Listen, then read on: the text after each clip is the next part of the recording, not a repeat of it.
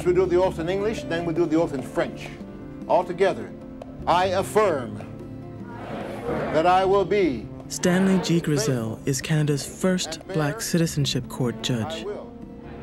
In the long battle to win rights for all citizens, Judge Grizzle is one activist among many.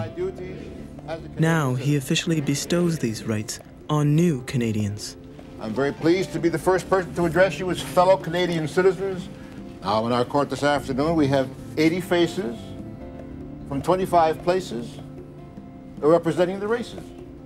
Now, we urge you to maintain your cultures and your traditions, and at the same time, share in, enjoy, and above all, respect the cultures of others around you.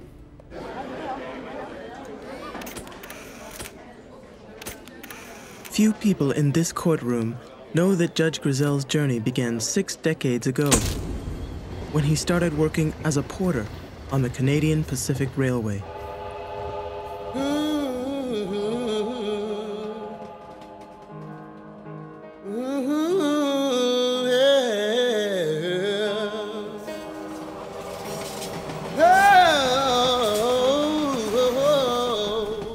In the 1800s and early 1900s, thousands of blacks arrived in Canada from the United States and the West Indies. They dreamed of a life of opportunity and equality in a country renowned as the terminus on the Underground Railroad. The potent symbol of their freedom was Uncle Tom's Cabin, located in Dresden, Ontario. It was the home of Josiah Henson, who had escaped to Canada from slavery.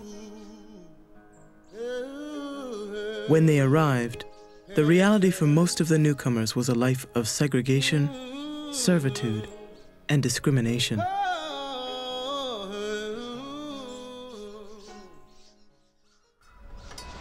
For the next 100 years, blacks would have to fight to gain their rights as Canadians.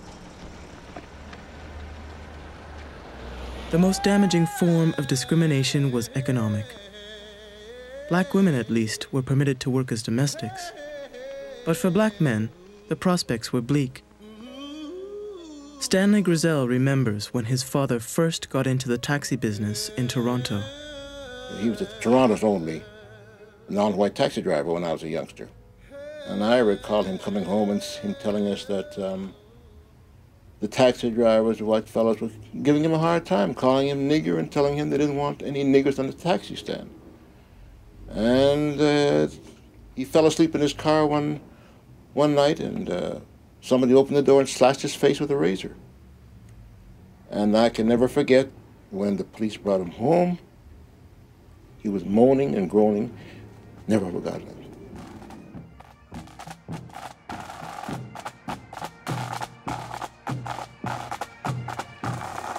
Canada in the 1920s was still essentially white and British.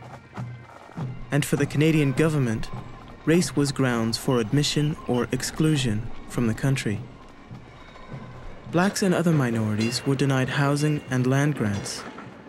Across the country, they were turned away from apartments, restaurants, hotels, beaches, parks, and even hospitals. Discrimination was permissible and acceptable. In the United States, Jim Crow was legislated. The law said black people must use separate facilities. Black people must have separate schools. Black people must sit in different parts of the cinemas or ride in different cars in the train. In Canada, the law didn't say you must. What the law said in Canada was you may. And most employers chose to exercise their option to discriminate. The only place where black men were welcome in the workforce was the railroad.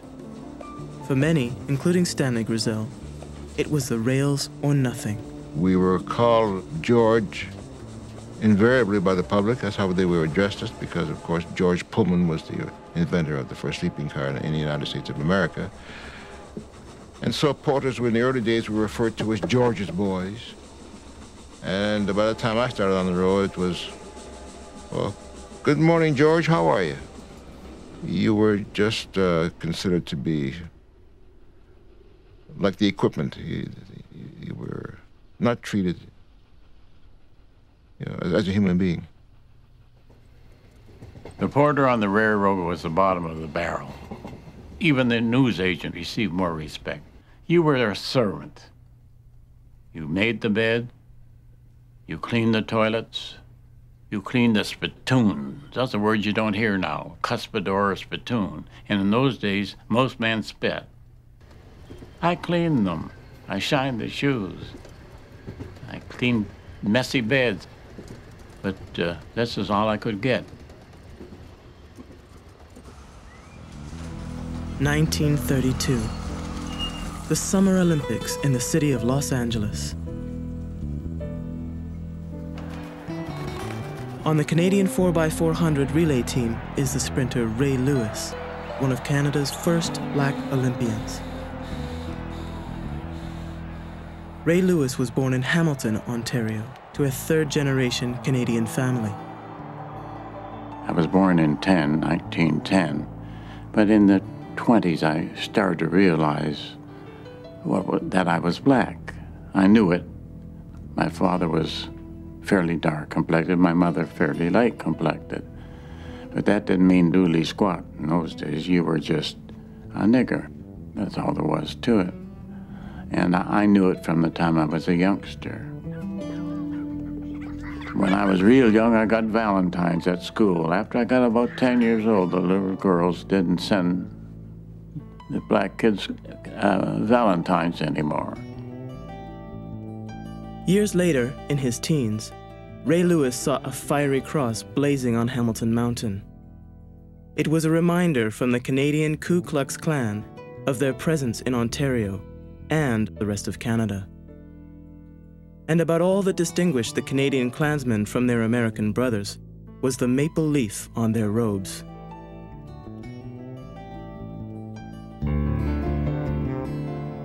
On the track field, no one cared about Ray Lewis's color. Oh, it was wonderful. We were athletes, and track and field athletes were a different breed. We were teammates, equal, equal. There was no animosity, no feeling of color or anything. We're just runners. We trained together, we ate together, we slept together. It was just perfect. Again, the great Olympic stadium, jammed to the gun. We're getting a bird's eye. The Canadian 4x400 relay team broke through and won the bronze medal that year. For Ray Lewis, it was the highlight of a sprinting career that had already earned him a trophy case full of awards. But victory on the track field changed nothing in the real world. Back home, Lewis soon faced the reality that while the economic prospects had brightened for other Olympians, not for him. When he approached track and field officials in Hamilton about a job as a coach, he found one door after another closed. Discouraged, Ray Lewis, Olympic medalist, was forced to return to the railroad as a porter.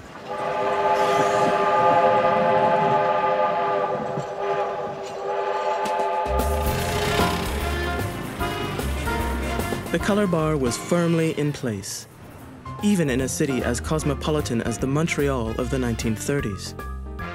The city had a vibrant nightlife, hosting black musicians and entertainers from all over the world. But even here, the line was drawn blacks were welcomed as performers, but not as patrons. And if there was any doubt about that, this example, in 1936, made it crystal clear. Uh, a man named Fred Christie, a black man in Montreal, went into the Montreal Forum. He had a season's ticket to the hockey games of the Montreal Forum. And he went in one night with uh, two friends, one black, one white, and uh, there was a new tavern had just opened uh, called the York Tavern. And so, at Christie's suggestion, apparently, the three friends went in to have a beer. You could buy three beers and get change for 50 cents. And this was in 1936. Christie put down 50 cents, and the waiter said, apparently very politely, I'm sorry, sir, but we can't serve colored people here. Fred Christie expected to be able to buy a beer in this place, and so he was he was shocked and disappointed when he didn't, and then he decided to take it to court. It eventually got appealed uh, up to the Supreme Court of Canada, uh, where Fred Christie lost.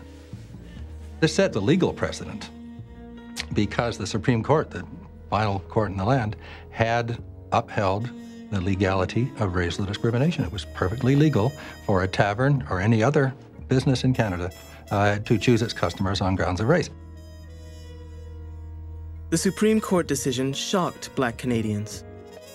But the community would soon suffer an even greater setback.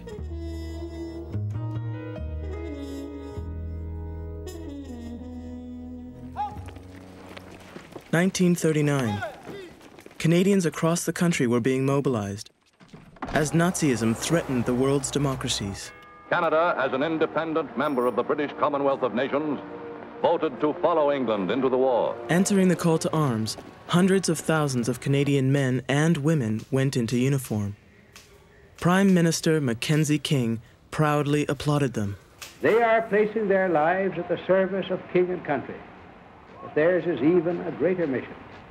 It is the preservation for our own and future generations of the freedom begotten of persecutions, martyrdoms, and of centuries of struggle.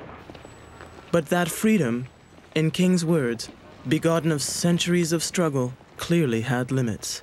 In 1939, a number of my friends went marching up to the recruiting officer and, and wanted to join because there was no work, of course, and were told, sorry, we don't want you. And it was not until, oh, 1940, 41, uh, that they finally allowed blacks. Blacks were not permitted to join the Navy, for example. Black men had fought for Canada in every conflict in its history. During the First World War, they had served in segregated units. But now, in the fight against Hitler, blacks and other minorities were turned away.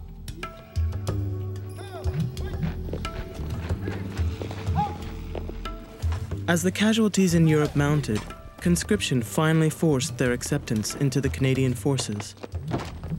But even then, wearing the King's uniform was no guarantee of respect, as Private Stanley Grizzle was soon to discover. He had been married a few days before he was shipped out for active duty. But the honeymoon in Toronto was spoiled. I had reserved a room at the Walker House Hotel, so when we got to the hotel, they had no reservation for us. Found out later they allowed blacks to drink in the beer parlor part of the hotel, but you couldn't rent a room. After being rejected by two other hotels, Grizzle and his bride were forced to stay with family. I couldn't see the point of volunteering to uh, make the world safe for democracy when I wasn't having, getting much uh, of a taste of it, you know, in my own country. Once overseas, Grizzle discovered what the army had planned for him. He was ordered to become a batman. A batman shined his officer's boots, cleaned his clothes, and tidied his tent. As Grizzle saw it, he would be a domestic in uniform. But he soon found there were worse duties. Because I refused to be a batman, uh, and I told the officer that uh, I didn't, wasn't a regimental duty and I didn't choose to do it. I was put on honey bucket duty for a week, emptying the buckets containing urine and feces because we did not have uh, toilets to flush. And the next week, I noticed the, the assignment sheet, Grizzle, honey bucket duty again. I said to my sergeant, I'm going on strike. I'm not going to do anything. Well, man, he got, he was hysterical. You can't do this. You have to. I said, I'm not doing anything because I'm being punished for not wanting to be a batman. Grizzle took his battle up the chain of command. The army gave in and assigned him to the quartermaster stores. By war's end, he and thousands of other black soldiers had served with distinction. They'd fought and died for their country, and they came home believing they had earned the right to be respected as equals. They were in for a rude awakening. One of these black Canadian soldiers was leading aircraftman Donald Carty. But when they got back and found out the same old entrenched generational social attitudes that I would employ you, but I don't know how my uh, employees or how my uh, customers are going to feel, and evasion and a total disregard as you as being a part of the human family. Disregarding the contribution that you made, uh, a case of, well, that's nice that you went to the war, but you're black. During the Second World War, blacks were in fact demonstrating their love of country and their patriotism. By war's end, this patriotism was cancelled. It is somewhat ironic to think that Canada's former enemies could be treated much better than the very soldiers who fought in both world wars to help preserve Canadian democracy and European democracy.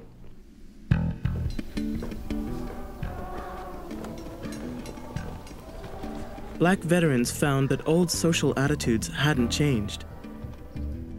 Blacks had lived in Nova Scotia for more than 200 years. Many had come as Black Empire loyalists.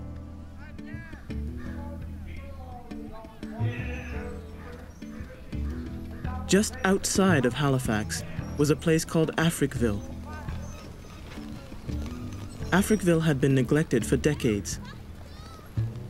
Now it became a dumping ground for municipal garbage. I can still see it. And there's a house there, and I could see the big uh, cement pipes, which I am told were the sewer pipes that was leading, leading the sewer, emptying it in the harbor. And it ran by this guy's home. And as we drove along, there was this great big mountain of stuff, and it looked like garbage, it looked like a dump. And there are like people or things moving. We got closer, and I noticed this black people scavenging on the dump. I couldn't believe it, man that in this country and in this age that people are living like that and it is allowed.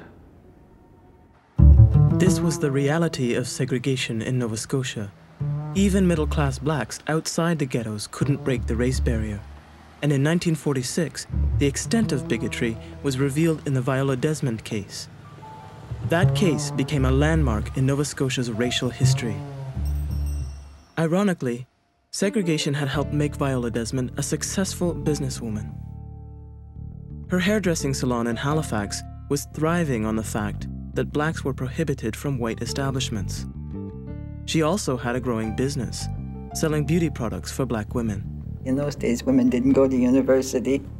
She went to finish her high school, grade 12, and took a course in, uh, took a program in at the Academy in Business Practice. She opened up a school a school of beauty culture. She even told me that she saw them going across Canada because there were no black beauty parlors at that time. In the meantime, she married. Her husband was a barber, so he had a barber shop there and she had a beauty parlor there. Viola Desmond traveled extensively around Nova Scotia, looking for opportunities to expand her business. On one of these trips, her car broke down in the small town of New Glasgow and the mechanic told her it was going to take a few hours to fix the car. So she went to a cinema, the Roseland Cinema, and uh, she decided she'd kill some time by watching a movie.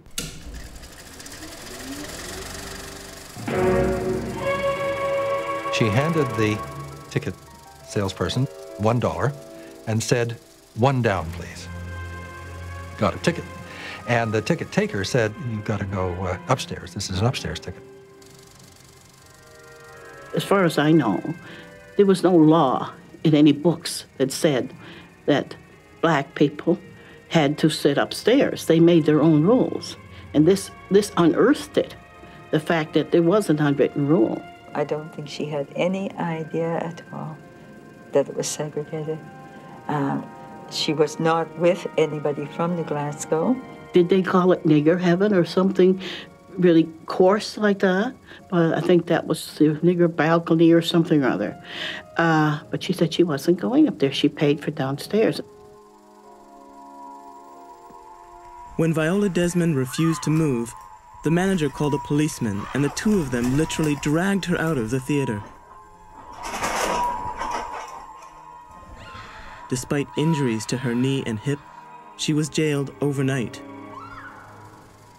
The next day, she was uh, charged and convicted of defrauding the province of Nova Scotia of one cent in, um, in uh, amusement tax, because the tax on the upstairs ticket was two cents and the tax on the downstairs ticket was three cents. And because she had been given an upstairs ticket and had sat downstairs, uh, according to this logic, she hadn't paid enough tax.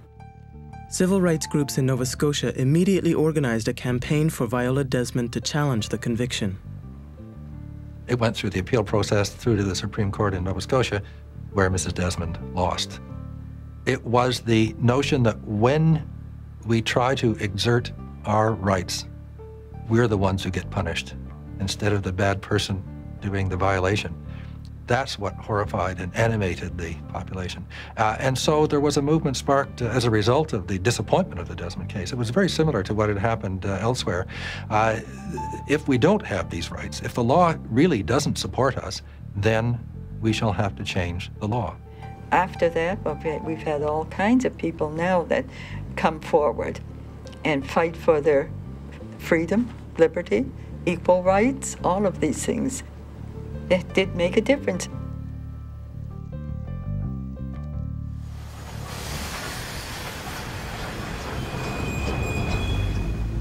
For years, the railway porters wanted to make a difference to their appalling working conditions and to their lives. In 1945, they made a breakthrough. After years of clandestine work, the porters had formed a union.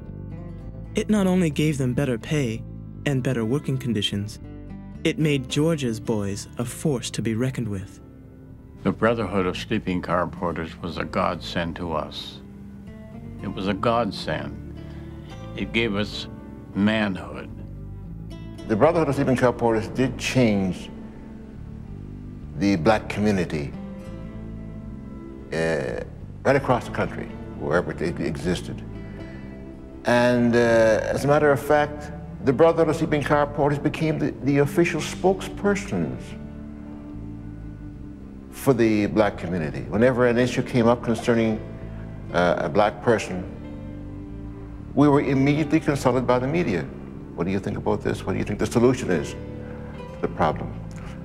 And so we were, we were recognized and respected. It also gave the Porters an invaluable lesson in politics. Across the country, they used their organizational skills to challenge the color barriers in the communities where they lived. Out of that process of learning to negotiate and to sit from other people across the table, usually white individuals, they developed an ability that helped them in would help the community in the 1950s because we were no longer at the start of the learning curve.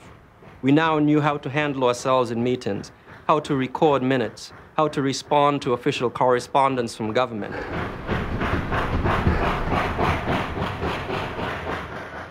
One of the first targets of this new militancy was the small southwestern Ontario town of Dresden. It had been a symbol of freedom from an earlier age. Now, in the 1950s, like many Ontario towns, it practiced its own resolute form of racism. Dresden was not the American South. There were dozens of prosperous black farmers. Children of all races went to school together and played together. But despite appearances, and despite its history, Dresden was a place where color meant everything. What was unusual about Dresden was its absoluteness.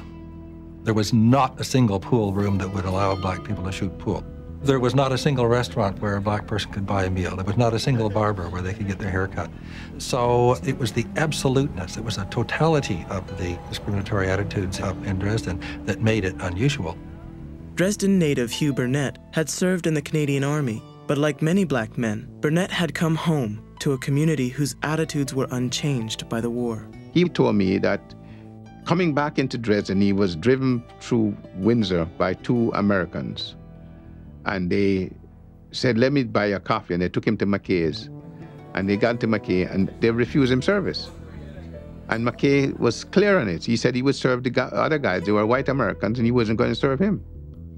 Humiliated and angered by rejection in his hometown, Burnett and friends began to organize.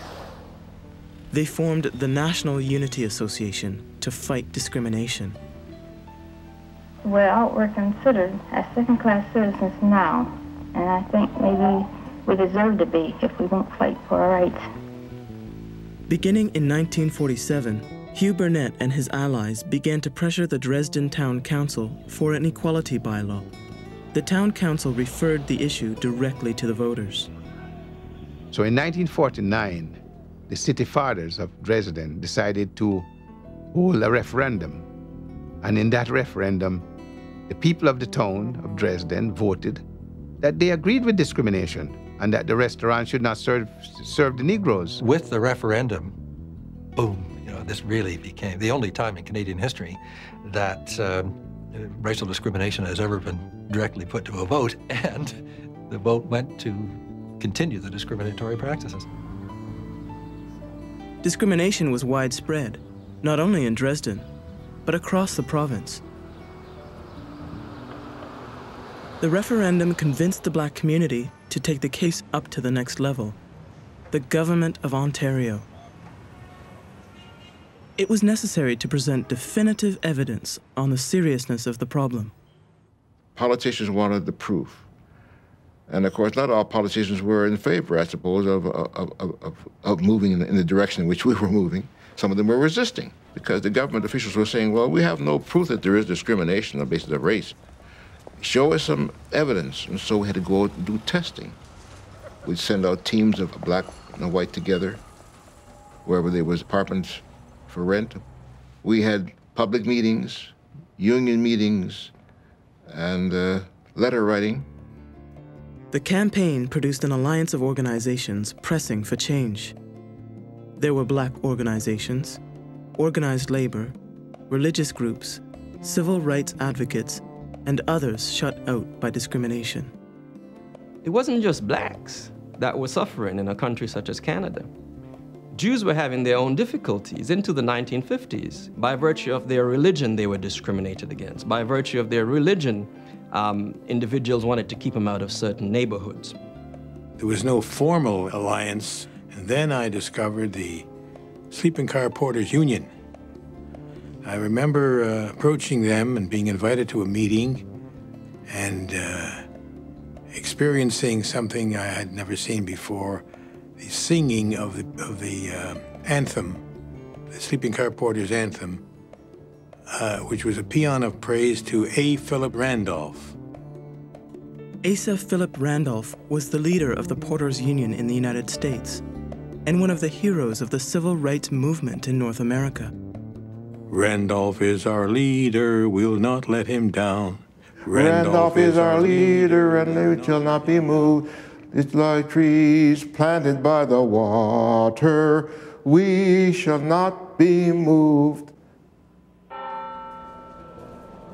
Now, a powerful coalition had emerged with enough momentum to take the case against discrimination before the most powerful man in Ontario. So when we finally got to Queen's Park, I recall vividly the Premier, Leslie Frost, saying, This is the largest delegation of colored people that I have seen in one place in all my public life. That I shall never forget.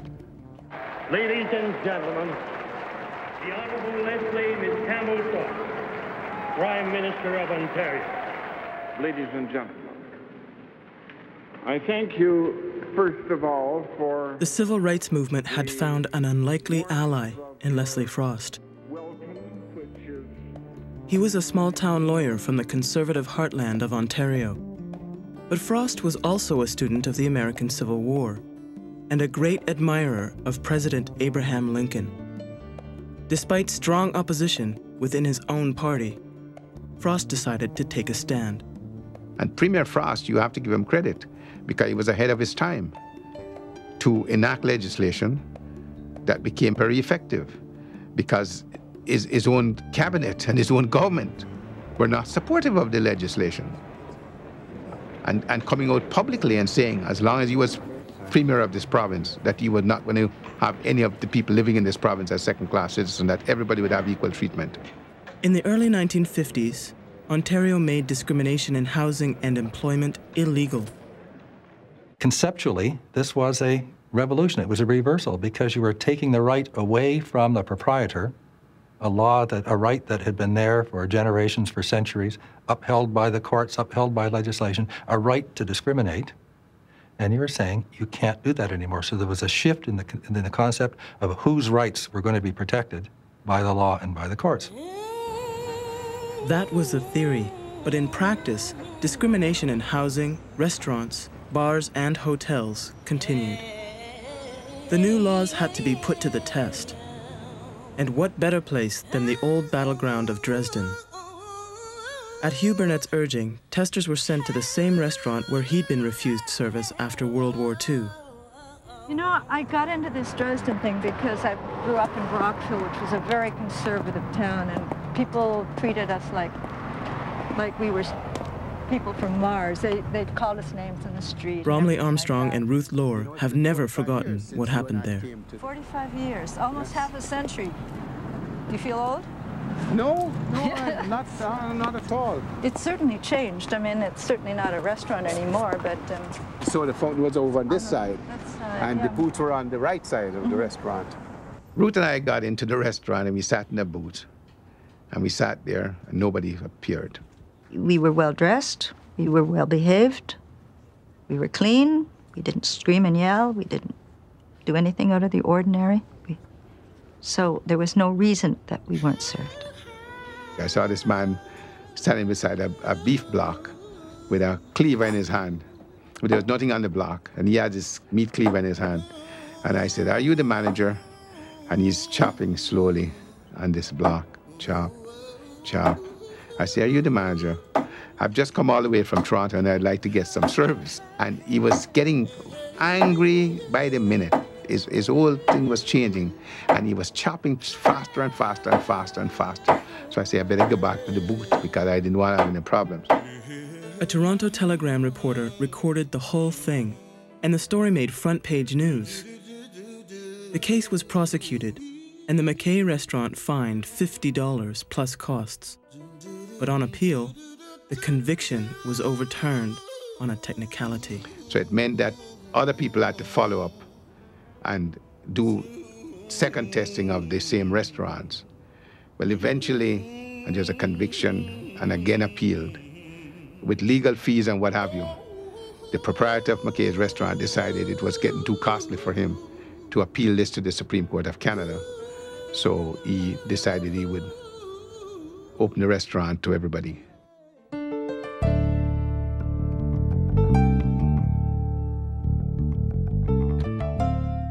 Hugh Burnett and his allies were vindicated, but the victory had left deep scars.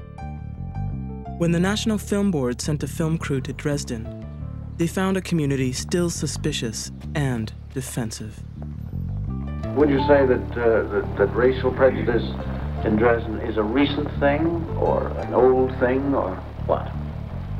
Well, I think it's fairly recent. I don't think we were uh, conscious of it um, until just lately. I wouldn't say it's too recent. It's been going on for over 100 years, or around 100 years. And uh, it's been as bad uh, as long as I can remember as it is now. Well, I think uh, possibly that the fear of intermarriage has a great deal to do with it. If two people, uh, colored and white, if they decide that they want to be married, that's their freedom and that's their liberty. Not that we would encourage it. In fact, I feel we would discourage it as far as possible, but it's up to them to make their own decision. The fight in Dresden took a heavy toll on Hugh Burnett personally. As punishment for his activism, people in town stopped hiring him as a carpenter, and his business went under. When I was seven, my parents split up, and whether that was a direct effect of this or whether that would have happened anyway, I don't know. At my father's funeral, uh, Professor Walker spoke, and he basically made that comparison that my father was Canada's Martin Luther King. As Burnett and the others had found in Dresden, discrimination ran deep, and racism was embedded in social attitudes. Minstrel shows were still popular in Canada. White performers in blackface, ridiculing black life.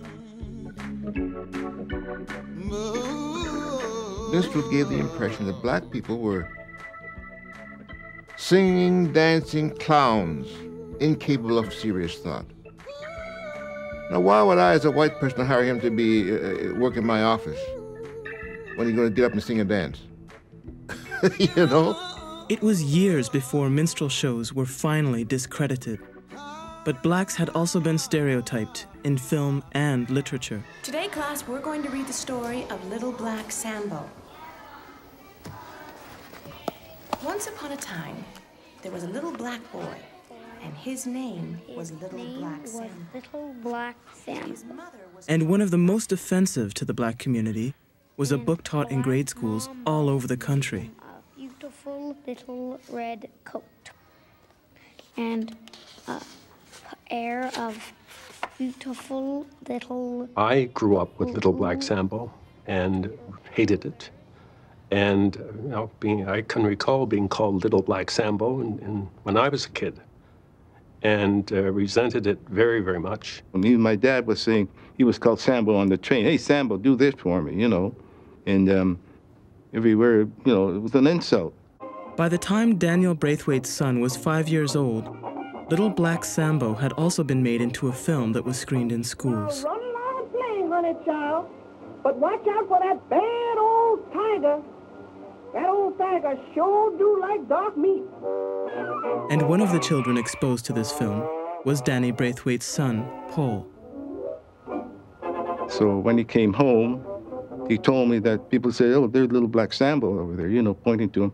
And um, I says, well, um, I think I'll see what's going to be done about that. And I phoned my representatives about the film, and it should be removed from the schools.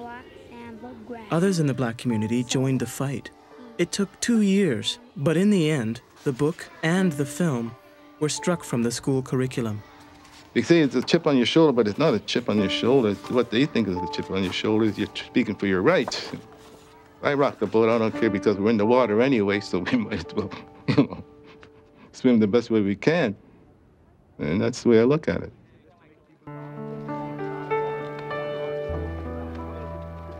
Through challenge, resistance, and struggle, blacks had begun to change the conventions and attitudes that underpinned discrimination. But the longest and most difficult struggle was still to come. Racism had long been a cornerstone of Canadian immigration policy.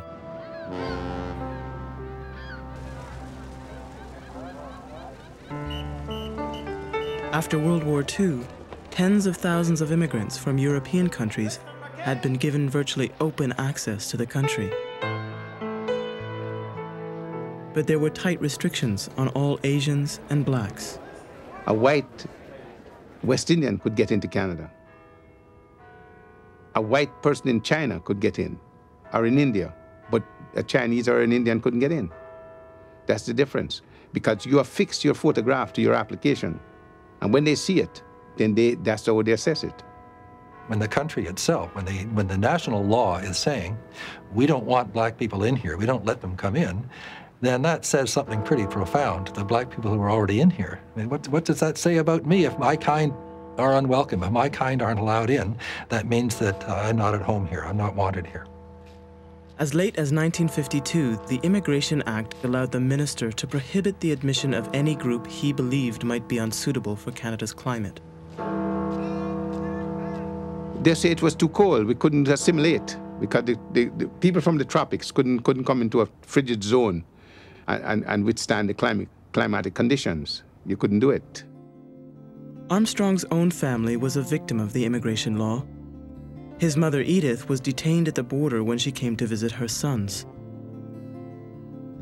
The man Bromley Armstrong turned to for help was Donald Willard Moore. Since the end of World War II, He had made the fight to change Canada's immigration policy a personal crusade. Don Moore had come to Canada from Barbados as a young man. And for the next 30 years, he fought for Caribbean families, hoping to make a home here. His struggle would eventually change the face of Canada. Don Moore was an articulate man and some, someone who was taken seriously, not just by a sector of the community, the black community in Toronto, but also by politicians.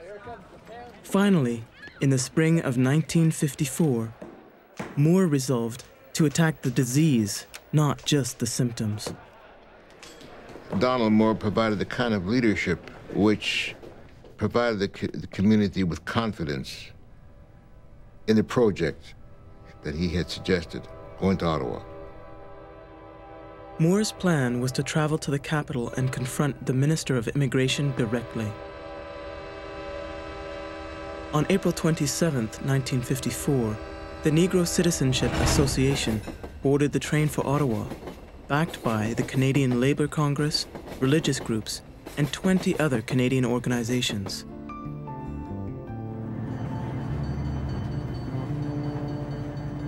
Nearly half a century later, Stanley Grizzle and Bromley Armstrong, two surviving members of the original delegation, retrace that historic journey to Ottawa.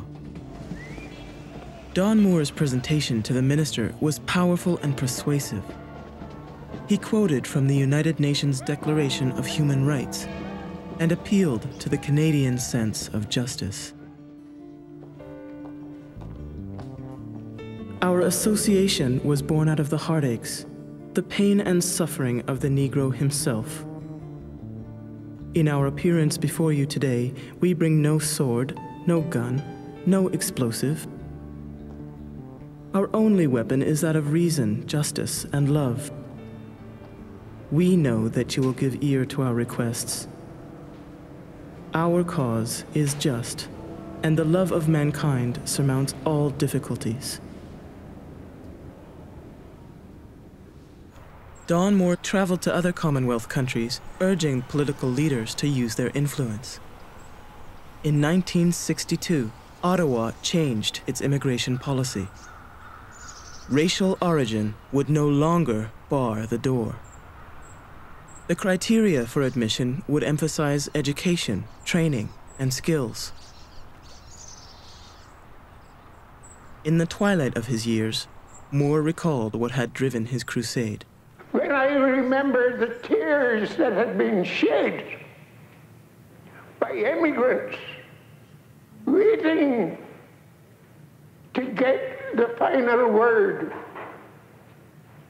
waiting in fear of being detained and sent back. Why? Because this skin of mine and yours was a little darker.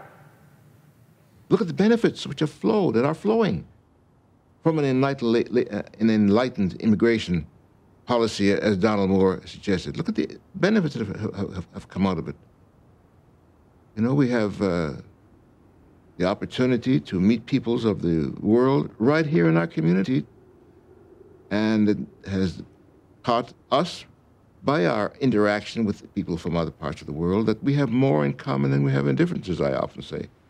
Mai Hung Lee. Congratulations. Thank you very much. Ho Jiang Thomas Chan. Zahra Amid Jarevdi. Raushan Ara Sharmin. Oleg Kenchin. In 1977, in recognition of his work in the fields of labor, human, and civil rights, the Canadian government appointed Stanley G. Grizzle a citizenship court judge.